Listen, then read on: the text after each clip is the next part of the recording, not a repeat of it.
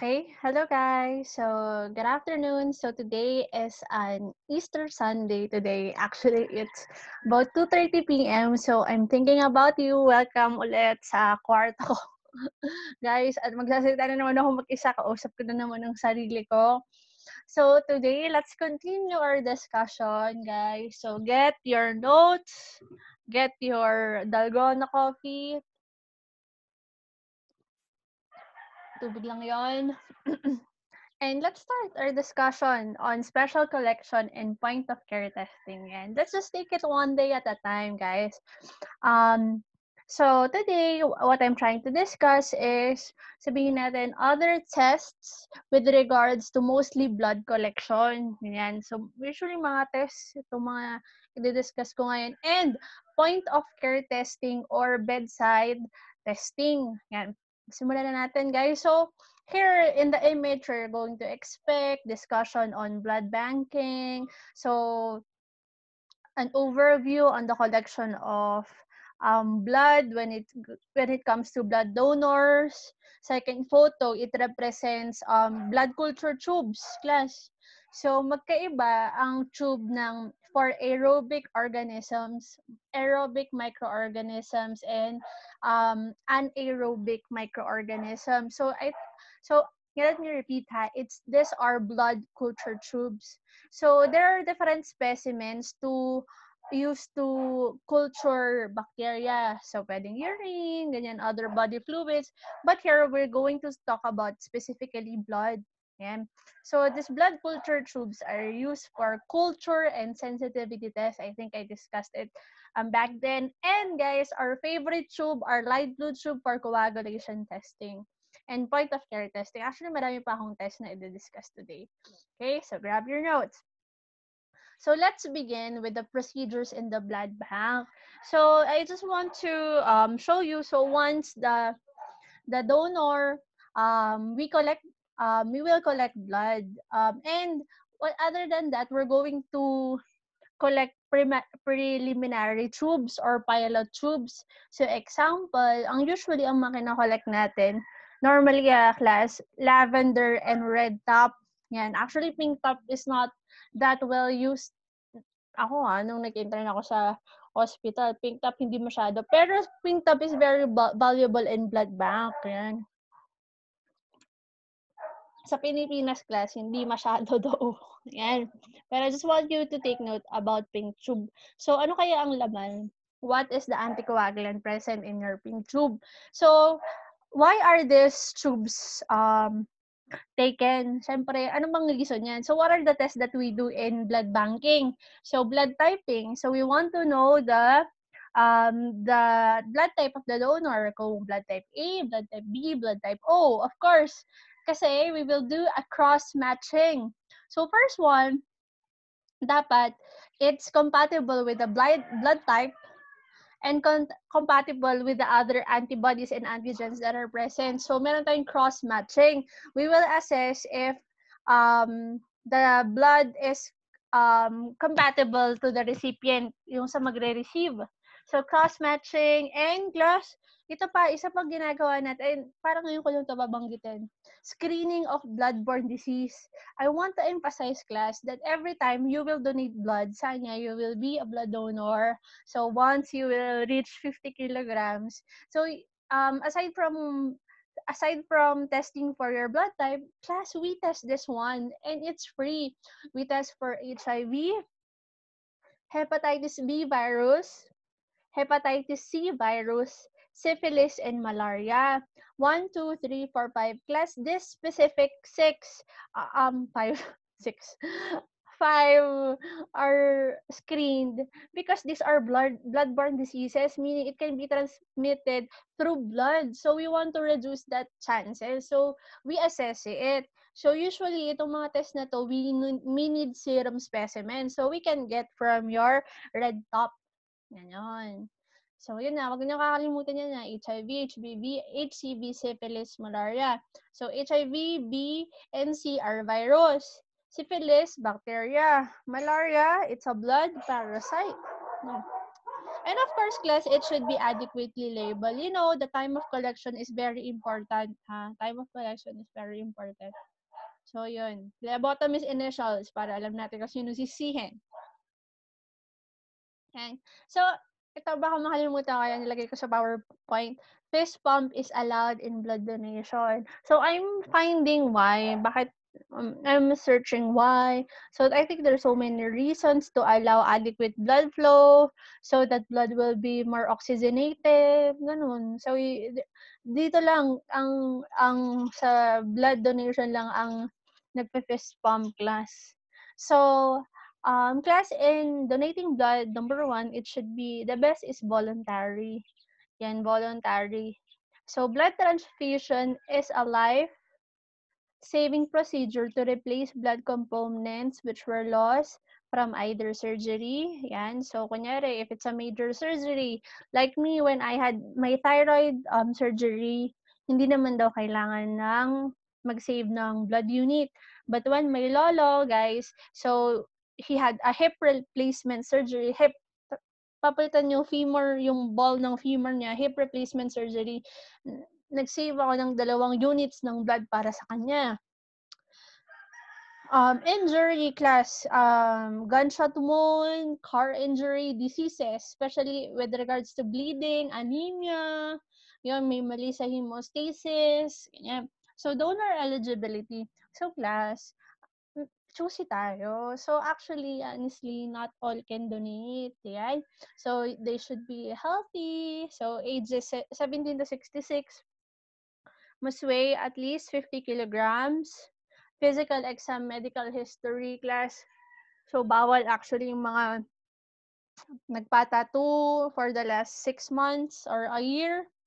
Bawal class yung mga may history of male-to-male um, intercourse, ganyan if you have high risk, mga sexual, mga health worker, um, ano sex, community sex workers, hindi sila pwedeng mag-donate. I know, parang 'di ba, homosexual, hindi naman lahat ng mga homosexuals is um, positive for HIV. Pero parang ganun, may mga ganung issues right now, mga social issues na why we're not, why we are not allowed wing them to donate. Ganyan, because of their, ano inclusivity, ganyan. Pero nga, high risk. Pero, ayun. So, that's, ganun. So, class, we have this couple of terms ang may dinagdag ako, allogeneic donation. This is the most common. So when you will donate, most of the time it's called allogeneic do- donation. When it is a voluntary donation and it's for um, someone you don't know, yan, allogeneic donation. So, yun yung tawag doon. So, isa pa, yun yung allogeneic. Kaya, sometimes, baka marinig nyo yung term na allo allogenic antigens, allogenic antigens, or allogenic antibodies. So these are antibodies which did not come from you but came from other people. So ibig sabihin, allogenic donation, it came from other people. Yeah. Or it can be given to other people. Yeah.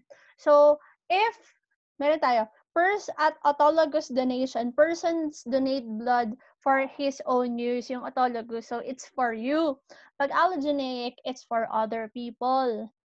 So, kailan to nangyayari? Elective surgery. So, if you want to schedule a surgery, kunyari, um, it's open heart surgery. So, you can donate your blood beforehand. Ganyan.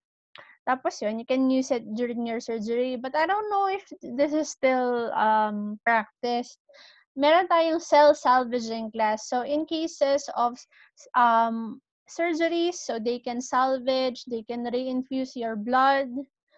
And this is rare. Kaya nilagay ko nga yung allogeneic donation eh. And we have look back program. Alam nyo, one of the advantages of donating blood is they can as they can test you for any blood transmissible disease or bloodborne diseases. So if you are positive, sana hindi naman. So when you're positive, they will contact you and let you know. Yan. So class, since we're here in the realm of um, units, class, gusto kong i-inform sa inyo that your blood depende kung saan sila nilagay na blood unit at kung anong anticoagulant ang laman ng blood unit na yan. Usually, once you will donate for Red Cross, um, ang ginagamit nilang anticoagulant is CPDA1, yan, citrate phosphate dextrose adenine. So, your blood can now reach up to 35 days. Its shelf life, its expiration day is up to 35 days. I think that's commonly used in Red Cross. Yan. So that's good, di ba? So the blood can be stored as much as 35 days. Actually naman, mabilis naman ang turnover ng blood. Ibig sabihin, pag may nag-donate sa Red Cross, madali ring nakukuha kasi class, especially in Red Cross Baguio. So a lot of provinces like La Union is near Baguio. So pupunta rin sila dito. La Trinidad, kung nakulangan sila ng dugo, ito, ganyan, pupunta sila dito sa Baguio. Kaya madalis ma- maubos ang blood units natin, especially blood type O. Pero ano yung mga matagal um, kunin, like blood type AB, ganyan. Or yung mga O negative. Kasi most of the Filipinos are O positive, A positive, RH positive tayo. So, yung mga negative, matagal kunin yung blood. So, at least, mas matagal natin masastore yung mga blood units na ganon. Yan. So, 35 days. So, class, you know, sobrang vital nitong mga laman nila. Like, citrate, phosphate, dextrose. So, coming from the word citrate, di ba, citrate is an anticoagulant. It chelates calcium. So, an, it's an anticoagulant. Phosphate. Ayan. Um, if I'm not mistaken, phosphate, wait, pinicturean ko yun. Phosphate is used to maintain the pH of the blood unit. And for dextrose class, it will be the one that will provide glucose as an energy, as a source of ATP for the red cells. Ganon. So, ito, citrate phosphate, double dextrose. So, it has double um, units or dosage of dextrose for the energy of your um, red blood cells. Acid citrate dextrose, ito, adenine. So, adenine is also for the production of ATP. Sodium chloride, adenine glucose, and mannitol. Yan. So, depending kung anong laman ng anticoagulant, that will um, extend the life, um, the shelf life of your blood unit. Galing, no, class? Yan. Mag-aaralan nyo sa blood bank pag kayo mag-alala. Pero just, it's just interesting, no, na you know, you, para ma-store natin or ma-preserve natin ang red blood cells ng maayos, we need to know its morphology, its metabolism, ganyan. So, since kailangan ng red blood cells ng energy, we need to provide an energy source. So, yun, dextrose. And class, um, did I ever told you that inside the red blood cell, so, piso, um, potassium in, sodium out, So, in cases of um, the red blood cells is actually um, masyado na siyang matagal in storage class, it's lysing and it's releasing so much potassium. So, phosphate is used is good to add so that the the pH will not uh, will not um, be lowered. Okay, yan. So, paki-add na lang yun, ha? Pero, I just want to let you know that ganun yung ano. So, ang pinakamatagal na, na storage ng blood unit is 42 days in SAGM. Okay, now let's head on to blood cultures. I think ito yung isa sa mga gusto kong um, ina-extract because you need um, loads amount, of blood not not really, basta siguro mga 3 ml on each tube, ganun, in blood cultures. So, blood cultures class so are acquired in the testing for blood culture and sensitivity testing. So, culture is just part of this testing, culture and sensitivity. So, first off, you need to culture. You need to grow your bacteria. And once you've grown your bacteria, you need to identify it. So, once you have identified it, at least you have an idea what are the best antibiotics. And now, you will assess, dito sa next photo, you will assess which is the most uh, uh, effective antibiotic. So, example, annotate nga tayo. So, guys, um, dito tayo sa first na image. So, dito, um, ina-identify nga natin muna yung bacteria. Paano ang rami? So, yung tawag mo sa mga bilog na yan, yan, that's a colony. Yan. So, actually, may mga magkakapareho na colony. So, you have to describe at si Medtech, lahat kukuha dyan sa colony yan. Tapos, yun, i-identify niya. So, through biochemical test or if it's automated, pwedeng through PCR testing. After na ma-identify yung bacteria class, gagawa siya ng sensitivity testing. Ito na sa second photo. So, yung naka-inoculate um, dito sa culture, yung white stuff, those are the bacteria class that which were grown in a uh, after 24 hours. So, kailangan mo ilagay rin yung mga ano to, antibiotic disc. So, the one which has the largest um, zone of inhibition, yung pinakamalaking butas, yung pinakamalaking diameter, it is the most effective antibiotic. So, yun yung best na ibibigay sa pasyente. Ang galing, no? So, therefore, itong mga antibiotics na to, yung walang zone of inhibition, you shouldn't be giving those to your patient because they are not, clearly not effective. So, yun yung value nito. Itong blood culture and sensitivity. So, it will determine the presence and extent of infection. So, yun yung iniwasan natin na umabot sa blood. Identify the type of organism and what is the best antibiotic to use and should be ordered in base having a condition in which bloodstream invasion is possible and presence of fever. So, kunyari, possibility of septicemia. So, class, we use two types of blood culture in one, blood culture tubes in one patient. So, parehong, uh, depending on the manufacturer, so meron tayong aerobic tubes and anaerobic tubes or anaerobic bottles. So aerobic bottle specializes on isolating aerobic microorganisms. So, microorganisms which loves bacteria, um, which loves oxygen, aerobic na eh. And anaerobic are the microorganisms which does not love oxygen. They want the absence of oxygen. That's the only way that they can thrive. So, class, to maximize the isolation of bacteria, ako nung intern ako, we draw 60 minutes apart or 1 hour apart. So you you draw the first the bottle in the first hour and second hour yung second bottle to mac to maximize the isolation of your microorganisms. Pero sabi sabi ng friend ko, sabi ni Sir Dexter, hindi na daw siya advisable ngayon. Just one in 24 hours. And class, so I just wanted to review that yung ginagamit natin na number one na for my microbial um, isolation is sodium polyanethol sulfonate. So its characteristic is anti-complementary. So complementary system, its role is to cure is for fag is for bacterial lysis and inhibit phagocytosis para hindi kainin ng mga WBCs yung mga bacteria.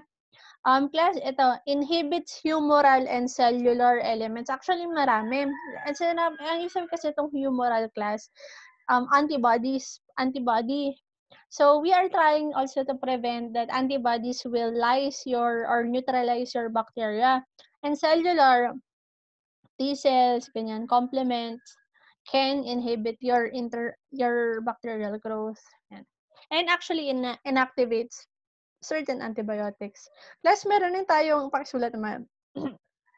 ARD bottle. So antibiotic removal device. So just in case the patient was already given antibiotic, so bibigyan So, yung bottle natin may ARD para tanggalin na yung, or inactivate na yung antibiotic. Yan. So class, the most common um, during phlebotomy, the most common error or mistake is microbial contamination, especially in culture and sensitivity. So, pinakamalaga is skin asepsis or antisepsis. So, we can use iodine, chlorhexidine gluconate. So, do, do a friction rub And class, yan. So, once you place it in your bottle, so, pwede mong incubate yung bacteria for 24 hours. Yan, if I'm not mistaken, yun natin ginawa namin. Tapos yun, now you can in inoculate it in your culture. Ganyan, you can use a cotton or a syringe. So, cotton mas mang madalas ang ginagamit. So, you have to to inoculate it in a uh, growth medium. And class, dito na tayo sa coagulation studies. So in coagulation studies, we have two important tests. So APTT and PT activated thromboplastin time. So it assesses your intrinsic pathway. So kunyari may deficiency sa factor 12, factor 11, factor 9.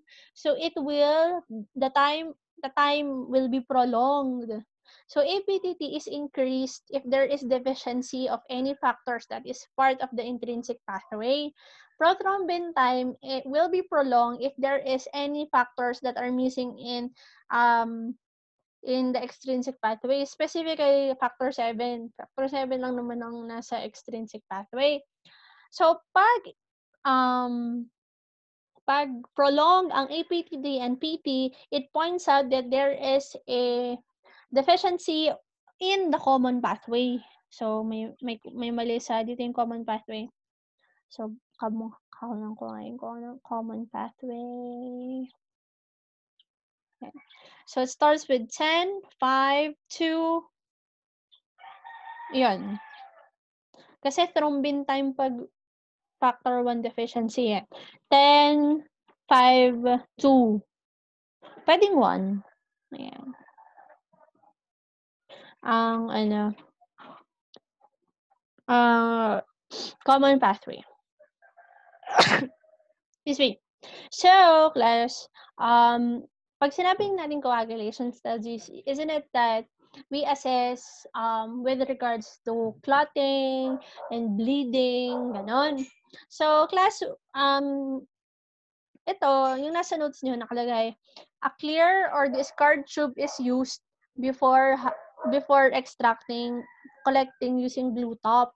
So, back then, class back then, kasi hindi na practice to, back then, before um, testing for the, collecting for the blue top, they use a clear tube. Di ba, class, kung walang, walang culture and sensitivity, ang mauna blue top. Um, dati, gumagamit sila ng clear tube. Why? Because there is a tissue factor, tissue factor contaminant. Kasi this tissue factor, kasi once there's um, tissue injury, tissue factor will be released, and tissue factor activates your your secondary hemostasis, your coagulation factor, your specifically your extrinsic pathway, inactivate niya. Kaya sabi nila, mag-clear tube ka muna or discard tube para mawala yung tissue factor. But right now, we don't do that anymore. We collect directly on the light blue top. And class, dapat you have to follow the ratio. Dapat you should exhaust the vacuum well. The ratio should be 9 is to 1. So, 9 um, portions of blood is to 1 portion of anticoagulant. Dapat perfect yung ratio.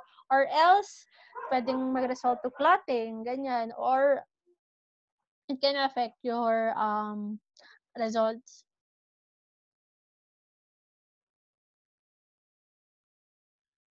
Oh, ang short lang pala nung um, coagulation pathway. So now, class, let's um, proceed to the glucose tests. So these are special glucose tests that I want you to know. Di ba, class, dapat by now, alam nyo na, dapat may random glucose testing, a random blood sugar test, and fasting blood sugar. Yan. So aside from that, there are actually other tests for evaluating for your glucose. So we have, so I just want you to be um, aware. So 2 are postprandial um, glucose, 2 are postprandial glucose. Ang ibig sabihin class ng postprandial is parang a challenge test. Yan. So, glucose in diabetics is significantly increased after 2 uh, two hours after meal. So you're going, so after giving the patient a glucose drink, na, so dati um, iniinom ng mga ng mga ka-intern ko yon sa ref ng laboratory. So, you give them a glucose drink and you will test their glucose after the two, the two hour mark. Okay? So, if it's increased, yun, it can be diabetes. And we have this glucose tolerance test. Yan. So, to assess, same thing eh, to assess um, when it comes to your diabetes. Yan. So, the patient should pass for the next 12 hours.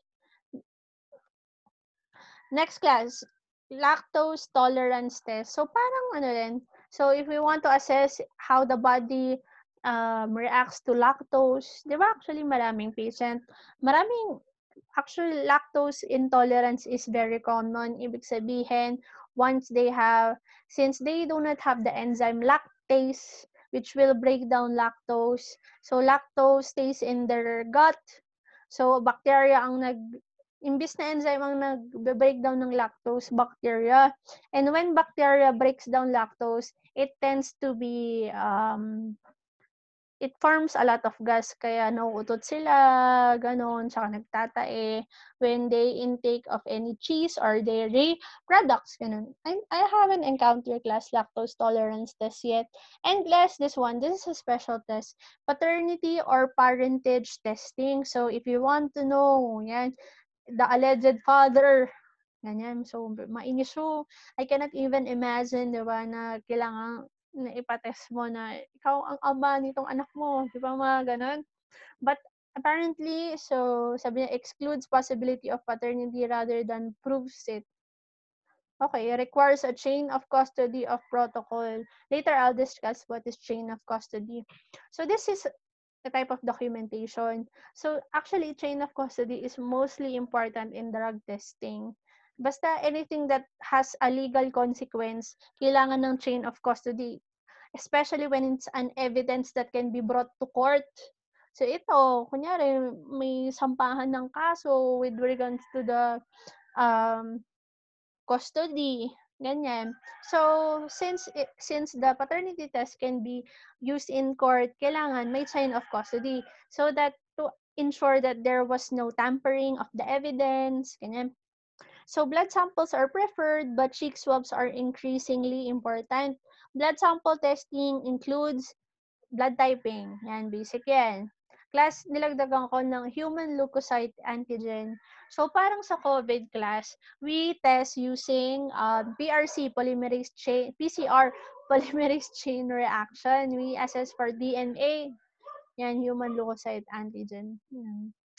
Cannot even imagine how heartbreaking na kailangan mong ipa parent pa-paternity testing, di ba? Next class, we have therapeutic drug monitoring. You know, class, there um every drug has its um maximum concentration or it has a concentration where it's very effective. Yan, may concentration siya. Kung so kung sumobra ka na ng concentration ng drug na yon, it can lead to um, side effects or it can be ineffective. So it's very crucial that we ha- we should um, establish the perfect drug dosage. Yan. So, sobrang, this, this shows class that medtechs, pharmacists, and doctors should be working together. Diba? It should be a team. Hindi, ano, hindi lang, hindi lang sila ang medtech nasa lab lang, ang pharmacist nasa pharmacy lang, ang doctor sila lang yung nasa bedside ng pasyente. They should be working together because you, the medtech should ask the the pharmacist and the doctor, yan, and the other way around. So, ano ba yung mga drugs na kailangan i-monitor natin? Warfarin. So, this is an oral anticoagulant or Coumadin. Digoxin is for the heart class. Lithium. Pang ano to eh, pang psychosis, pang bipolar, ganun. So, ano of class? Anti-epileptics, antidepressants. So, to prevent the toxicity of drugs and we want to make sure that they're very effective is we have to do therapeutic drug monitoring. Ganyan. Sobrang halaga ng mga medtech, ng mga pharmacist. Yan. So, example, yung mga tinatanong ko yung may may class may so I want to be very sensitive. Actually, may mga may estudyante, mga estudyante ako class nila malapit, ma'am, parang I I cannot go to school because I'm drinking this drug, ganun. So, uh, syempre ako nung alam naman akong um, pakialamera. So, ano, kamusta ka dun sa drugs na yun? So, usually, people who are taking antidepressants, yan, mga lithium, plus it can make them foggy, ganun. Parang, parang, it makes you numb. Parang ganun rin. So, ganun, marami siyang, F, masyab, marami siyang side effect. So, the best na, ano, sana may TDM tayo to, ano, to really monitor these types of patients. And class, so if kung meron tayong therapeutic drug monitoring, meron tayong therapeutic phlebotomy or therapeutic bleeding. So people who have polycythemia and hemochromatosis are are um are subjected to therapeutic bleeding. So, paano to, class? So, we bleed them. So, ganon. So, para silang magdodonate ng blood, but class, we don't transfuse their blood to the patient because abnormal yung hematocrit nila eh. Pwedeng masyadong mataas it, when, it can, when it comes to polycythemia. So, class, ang opposite ng anemia is polycythemia. So, actually, polycythemia is pancytopenia, meaning all your blood cells are increased, but especially your red blood cells. And so to manage the high hematocrit and hemoglobin, we need to um, bleed the, the patient. And class, ito naman, hemochromatosis. So hemochromatosis is when the patient has high iron. Yan. Iron in the circulation, iron in the storage. So ang pangalan ng ang tawag sa iron in the storage form class is ferritin. So, masyadong mataas na yung iron. And too much iron in your, in your body class is harmful. Yan. So, yan, we bleed them. So, ladies, kung wala kayong symptoms of being anemic, huwag kayong mag-take ng iron supplement class. Please, wag, wag inom ng inom ng supplement unless it's recommended by the doctor, okay? So class, dito na tayo sa toxicology specimens. Yan. So toxicology is the study of toxins or poison. So first off, we have forensic blood alcohol specimens. Yan class. So there are so much, so many reasons why we test for um, alcohol in blood. So ito yung lagay kong image dito. It is a breath analyzer. So ito yung mga mga police, meron ganito to see if someone is driving under the influence of alcohol. So, yun yung, so ang specimen dyan, breath, yan. Pero syempre, ang specialty natin, dapat sa blood, di ba? So, class, ayan, we need to assess the blood alcohol levels because very high um, blood alcohol levels can lead to comatose, to death. Ganyan. And sometimes, kaya sabi niya, it can be ordered by a physician or connection on the on the on the job injury. So may na-aksidente sa sabi natin sa factory, perhaps dahil sa alcohol, uh, employee insurance programs and employee drug screening. So aside from assessing um, drug levels, pati ethanol levels, yan. Sabi niya, dito na yon skin preparation, don't use alcohol-based um, disinfectant. So either use iodine or chlorhexidine. The specimen requirements is a gray top tube. Yan. So class, ethanol is the the edible type of alcohol. Methanol, nakakalason yun ha. Kaya yung mga naririnig yung may lambanog, poisoning, instead of ethanol yung natimpla nila, siguro methanol yung natimpla nila. Eth- methanol is a wood alcohol, if I'm not mistaken. So now, class, we have drug screening. Isa sa mga paborito ko. Class, alam nyo ba, sa drug screening, I actually train for drug screening. Mga, ang binayaran ko doon, mga 9,000, which is never ko nagamit. Kaya, class, isa sa mga advice ko sa inyo, huwag train ng train ng kung ano, pagka-graduate. train unless you're going to use it because as of now, I haven't used my training on being a drug analyst yet. So class, when I was training uh, being a drug analyst, so you have to be careful with your um, patient because same thing, may chain of custody dito. Sabi niya, chain of custody is the chronological documentation or paper trail that records the sequence of custody, control, transfer, analysis, and disposition of physical and electronic evidence. So class, the urine and the results of our drug screening can be used as an evidence in in uh, in the court and to ensure that um, there was no tampering in the there was no tampering with your um, specimen, um, there should be a chain of custody. Ibig sabihin, um, anyone who anyone who received the the urine specimen should be well documented. Yan, kung sino naka-receive. Yan. So class, what are the usual the usual specimen that we use in drug screening is urine. So nasa urine na tayo. And class, the um the hair class, the hair actually is a good test for drugs as well because the the urine um the the hair class can can can assess the levels of drugs which ha happen for a very long time. Siguro yung parang mga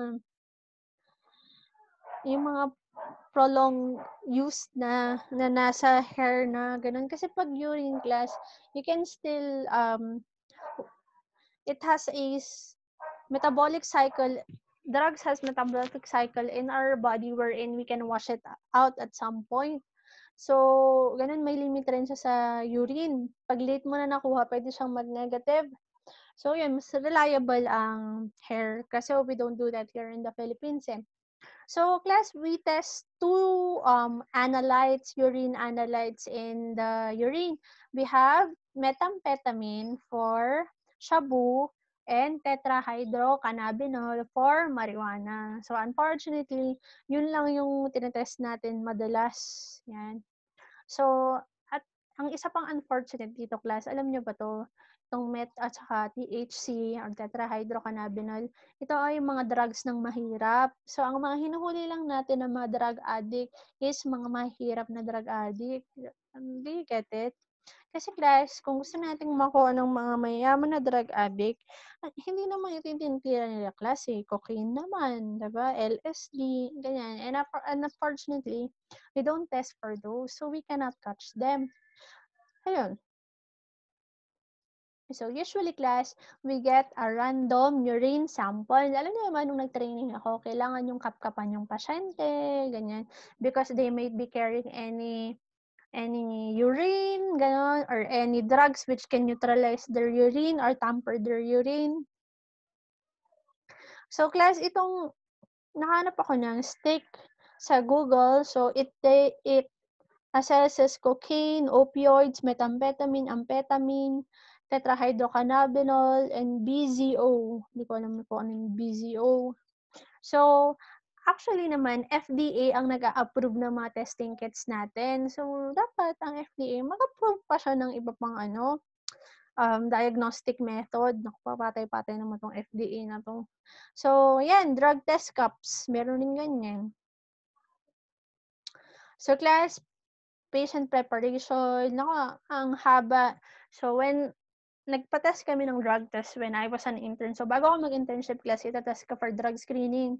So, explain the test and purpose or procedure, advise the patient of his or her legal rights. So, you have to be honest na that you are taking drugs, ganyan. If not, at nahuna nila sa urine test mo, I think kailangan ka magpa-rehab. Hindi ka na makukulong agad, but you need to be rehab. At saka class, that we have a national database for drug testing, ganyan.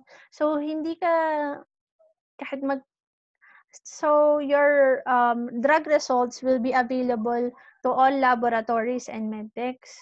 So, ganun, hindi ka nila itetest hanggang meron yung pangalan mo sa, hanggang naka, naka-mark yung pangalan mo sa database. So special specimen collection requirements, special area for, we have a special area for urine collection. So the area of your urine collection class, there shouldn't be no flowing water. So yung toilet bowl, dapat may blue coloring on the water of the toilet bowl, walang source of water para hindi nila matamper yung urine nila. Proctor will be present at the time of collection. So they have to watch you urinate Split sample may require plus the minimum volume of urine could be as high as 60 ml para pwede nilang ulitin. Yan, specimen must be labeled, will be sealed, then it should be signed, it should be kept, kasi nga it can be used as an evidence in the court. Nakwento na ba yun, class? Uh, yung may doctor class that apparently this doctor was positive to drugs, I think amphetamine or methamphetamine, hindi ko alam. Tapos class, she was she kept she kept on denying it up and it led to um the court. So she claimed that she was um that she was positive for drug for this type of drug because of the diet pill that she was taking. Plus, take doctor siya ha. Positive siya sa drug testing. Tapos, ang sabi niya, due to the diet pill that she was taking, um, class, you won't be positive on the drug screening test if you are, if it happened, if you just, ha- you just accidentally taken something, ganon. Hindi tataas yung level mo ng drug le- ng drug sa it won't it, it won't be positive in the drug testing if you just took it because it's an accident, ganon. But note her urine levels was high, ganyan, kasi nag-positive siya sa screening test. So, mataas yung ano, levels niya ng amphetamine. So, therefore, she was just not taking it um, recreationally. So it, she's not taking it for fun. She's taking it regularly because the levels are high. Ganon. Parang rin kay Rabena. Positive siya sa drug testing tapos sinisi niya lang rin sa mga energy drink. Uh, ko, charot-charot lang naman talaga ako eh. Ba? So, hindi ka magpa-positive class sa drug testing if you just take it recreationally. Mm. Hmm. Now, let's go to trace elements. So it is the test for aluminum, arsenic, copper, lead, iron, and zinc trace elements. So yeah, um, heavy metal poisoning. So class that tubes here are royal blue. And class din na tayo sa last na part ng ano natin, point of care testing. I, I noticed that point of care testing or bedside testing is very common in your syllabus sa curriculum niya, guys. Because this is where the technology is heading eh. Um, we're in, now we test near, beside the patient or remote of the laboratory, outside the laboratory or far from the laboratory. Ganyan. Because right now, we can use our mobile device. Natawa ako dito, oh, meron nun, Siemens sample. Disposable, smartphone-based device. So, pwede ka na mag-test ng Siemens sample. And you know, you have these handheld devices that we can bring beside the patient. So, yan ang technology ngayon. So, POCT or point of care testing is an analysis that employs an analytical method and is used in diagnostic setting that is remote from a centralized laboratory facility. I think this is a very good thing that's happening. But class, we will discuss the limitations of this one. So sabi niya, class, it offers convenience to the patient and short turnaround time. So there's a short period of time wherein the patient within seconds can they can have their result. So yung mga doktor hindi na kailangan kulitin yung mga medtech na saan may mga result ko ganyan. So the lab testing is given beside the patient. So point of care testing or near near near side testing or bedside testing. Ganyan. So, these devices are now portable. Requires, but still the challenge is we need to maintain our quality control and maintenance. So, to so that our results will still be accurate. So yung challenge dito, how will we maintain its quality? Yan. And we should, we must, and its safety. So, meron tayong terms na andyan sa notes nyo. We have wave testing and non-wave testing. So, there are POCT testings which are simple tests or low risk for an incorrect result. So, those are wave testing. Non-wave testing class are complex. O ma'am, ba't mo naman sinasabi sa amin to? So, for non-wave testing class, it's very important that the medtechs should follow the the manufacturer's recommendation, ganyan. Kasi nga, it's the, the test is quite complex and it is very prone to error. What else, class? Daily external liquid quality control. So, kailangan pa rin na, sin, na kailangan kina-quality control, yung mga reagents, yung mga chips na ginagamit, and class, you, we disinfect it with 10% bleach. Um, so class, here are the examples of the different tests under point of care testing. So ito, pwede na tayong mag-coagulation test. So people who are taking oral. So pag oral, warfarin or Coumadin. Pag IV, anticoagulant, intravenous, heparin. Yan. So we can now assess it using this handheld devices. So ipaprick mo na lang. Ganyan. So, ma'am, sabi mo last time, capillary test, ano, um, hindi pwedeng gamitin yung pag-coagulation test. Unless, if if you have a point of care testing, pwede ng capillary test. Ayan. Depende class kung anong manufacturer's recommendation sa sa coagulation, sa analyzer ha. So, baka ang i-require na pa rin is blue top. Ayan.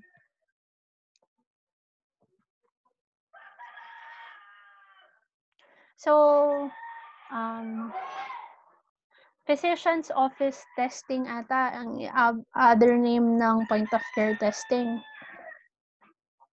So class, ah, gusto ko sabihin dito, ayan, to monitor the patients on blood thinners or blood anticoagulants. So kung napapasobra na pala yung mga anticoagulants natin, pwede nating i-reverse. Yan. So if it's Coumadin um, and they are giving excess Coumadin already, we can give more vitamin K. Ganyan. Kasi warfarin um, attacks um, vitamin K dependent coagulation factors. Pag heparin, masyado maraming heparin, bigyan natin ng protamine sulfate. Ito yung mga example ng mga POC instruments with regards to coagulation testing. Hindi nyo kailangan i-memorize yan. And class, what else? Ito, madali lang to gawin. Bleeding time. It is an assessment of primary hemostasis. Class, the main actors for primary hemostasis is your blood vessels and your platelets. So to assess if there's something wrong with your blood vessels or your platelets, we perform bleeding time. So the equipment for bleeding time is number one, a sphygmomanometer. Number two, a timer. Number three, a lancet and a paper. Yan. So, apat lang dali, dali mo, pwede ka nang gumawa ng bleeding time. Kasi alam niyo, uso pa rin itong bleeding time sa mga dentists. Yan. Nagpapa, pinapatest nila yung bleeding time ng pasyente bago mag pabunot. If not pabunot, parot canal. Yan. So, what we do is, sabi niya, place the puncture device firmly on the lateral aspect of the forearm. Or in, para specific class, ito yung siko ko. Yan, dito volar surface of the lateral arm. Yan dito. So, we will make three incision. Tut, tut, tut. Yan. Tapos, we will start the timer. Tapos, we will blot, blot the, the blood every 30 seconds. So, the time that the, there will be no blood, wala nang blood drops on the filter paper. So, that will the, ano, so, we have to stop the timer already. So the normal value is 2 to 7 minutes. So dapat by the by the 7th minute, dapat wala nang nagbe-bleed. So, actually, this can be very imprecise. Siyempre, depende sa laki ng puncture mo, ganyan. But, in, it's still used, class, for assessing primary hemostasis.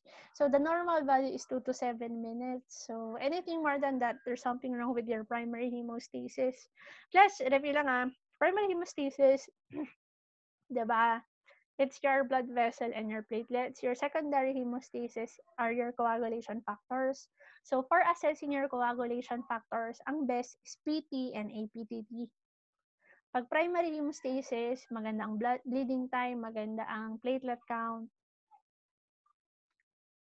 Ito class, ito yung pinili ko sa arterial blood gases because when I was working in the hospital, ito yung ano, ito yung ginagamit namin. Sobrang dali lang to class.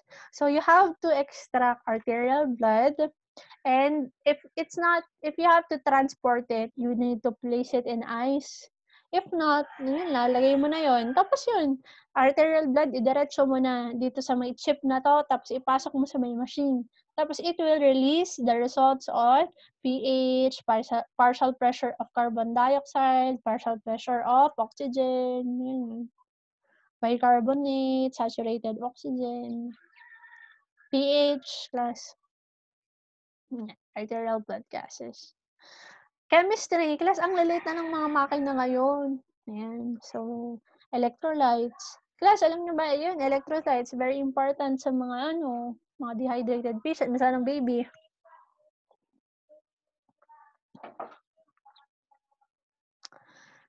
Ano ba? So, now, so multiple test panel monitoring. So, social tong POCT na to if it contains all blood gases, electrolytes, hemoglobin. And finally, class, so I chose, so we, so in your notes, I think there's a whole list of the different tests for point of care testing, but I just want to underline this one. So cardiac troponin T and troponin I, class troponin T and troponin I, dapat pag narinig nyo na yun, cardiac.